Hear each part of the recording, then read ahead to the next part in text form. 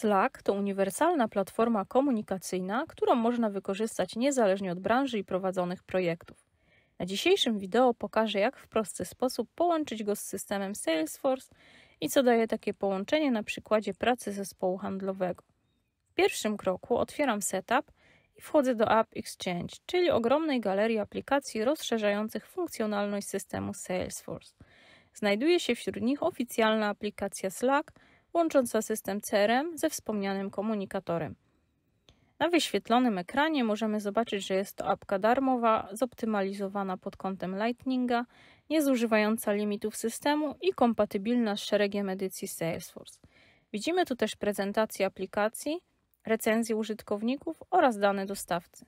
Po zapoznaniu się z tymi informacjami możemy przejść do pobrania aplikacji. Zaczynamy od weryfikacji naszej tożsamości, po której decydujemy, czy aplikację chcemy zainstalować na środowisku produkcyjnym, czy też wolimy zacząć od środowiska testowego, co jest bardzo mocno wskazane i co pominę wyłącznie dla celów prezentacji. Kolejny krok to potwierdzenie warunków instalacji. Następnie decydujemy, dla kogo chcemy zainstalować daną aplikację, wybierając spośród administratorów wybranych profili lub wszystkich użytkowników. W przypadku Slacka wybieram instalację dla wszystkich użytkowników. Ostatnie okno poprzedzające instalację prosi nas o weryfikację stron, z którymi aplikacja będzie wymieniała dane. Sama instalacja może trwać dłuższą chwilę, dlatego o jej zakończeniu zostaniemy poinformowani wiadomością e-mail. Zainstalowaną aplikację znajdziemy na liście Connected Apps, gdzie dowiemy się m.in. kiedy i przez kogo została ona zainstalowana. Gdy proces instalacji dobiegnie końca, możemy przejść do konfiguracji. W tym celu otwieramy ustawienia Slacka. Cała konfiguracja składa się z pięciu sekcji. Pierwszy krok to autoryzacja pozwalająca na wymianę danych pomiędzy systemem Salesforce a Slackiem. W tym miejscu znajduje się też przycisk do ponownej autoryzacji, który może być pomocny w przyszłości w razie ewentualnych problemów z połączeniem. Kolejny krok pozwala nam na dodawanie customowych obiektów do obsługi przez Slack. W dzisiejszym przykładzie nie będziemy z tej opcji korzystać. Pominiemy też tworzenie customowych powiadomień i przejdziemy do czwartego kroku, dającego nam możliwość dodania akcji Slacka do wybranych layoutów oraz dodania komponentu wyświetlającego powiązane wiadomości ze Slacka. Ostatni krok to konfiguracja miejsc, w które chcemy dostarczać wiadomości w wyniku automatyzacji. W tym miejscu łączymy wybrany workspace Slacka z systemem Salesforce. Dodanie nowego Message Destination nie jest wymagane w dzisiejszym przykładzie, jednak warto wiedzieć, że konfiguracja sprowadza się do określenia nazwy, wyboru workspace'a oraz kanału lub osoby po stronie Slacka. Wygenerowane w ten sposób Message Destination ID będzie mogło być wykorzystywane w późniejszych automatyzacjach z wykorzystaniem np. Flow. W tym momencie możemy już przejść do aplikacji Sales. Otwórzmy dowolny rekord leada, by skonfigurować widok strony. Dodamy do niej nowy komponent, którego zadaniem jest prezentacja wiadomości ze Slacka powiązanych z wyświetlanym rekordem. Po zapisaniu zmian przechodzimy do Slacka. Na liście aplikacji wybieramy Salesforce. Z dostępnych opcji skorzystamy dziś z możliwości dodawania zbiorczych powiadomień.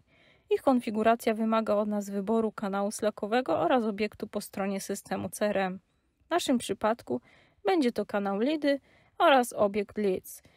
W tej chwili możemy już wybrać standardowe akcje, o których chcemy być informowani, takie jak pojawienie się nowego rekordu, zmiana statusu i zmiana właściciela rekordu.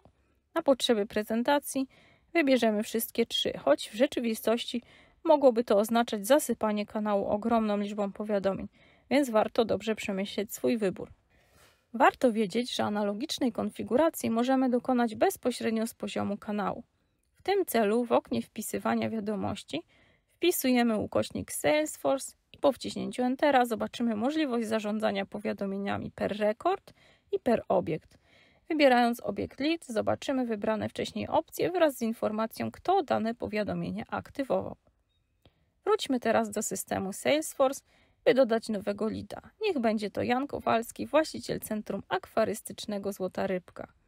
Jak widzimy, informacja o pojawieniu się nowego lida została automatycznie dodana do kanału Slackowego o nazwie Lidy.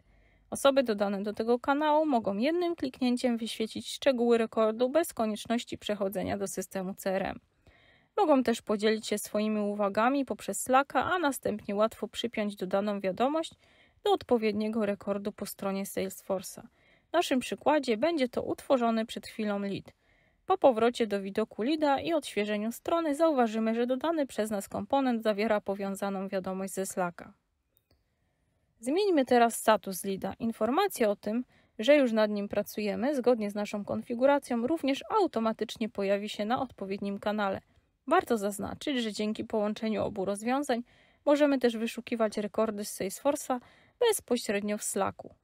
W tym celu wpisujemy ukośnik Salesforce oraz wyszukiwaną frazę – Wyniki wyszukiwania widoczne są tylko dla nas. Możemy też zobaczyć szczegóły odnalezionego rekordu. Mamy też możliwość konfiguracji powiadomień na temat działań na danym rekordzie, w tym powiadomień o nowych połączeniach, wiadomościach lub spotkaniach. Jeśli uznamy, że dany rekord jest przydatny dla pozostałych członków danego kanału, możemy się nim podzielić za pomocą przycisku Post to Channel. Sterowanie powiadomieniami dotyczącymi konkretnego rekordu możliwe jest też z poziomu systemu Salesforce. W tym celu przejdźmy ponownie do rekordu LIDA i edycji układu wyświetlanej strony. Aby dodać nowy przycisk, skorzystam z Dynamic Actions, o których opowiadałam szerzej na jednym z poprzednich nagrań. Z listy dostępnych akcji wybieram Slack Alert i zapisuję zmiany. Kliknięcie w nowy przycisk daje nam możliwość wyboru typu kanału Slackowego oraz akcji, o której chcemy informować. W naszym przykładzie będzie to wysyłka maila i rejestracja połączenia telefonicznego – Sprawdźmy, jak działa to w praktyce. Na rekordzie danego lida dodam teraz informację o wykonanym połączeniu telefonicznym. Jak widzimy, informacja ta pojawiła się automatycznie na wybranym kanale Slackowym. Mam nadzieję, że dzisiejszym nagraniem udało mi się pokazać potencjał kryjący się w integracji Slacka z Salesforce'em. Do tematu na pewno będę jeszcze wracała w kolejnych nagraniach. Tymczasem dziękuję za uwagę.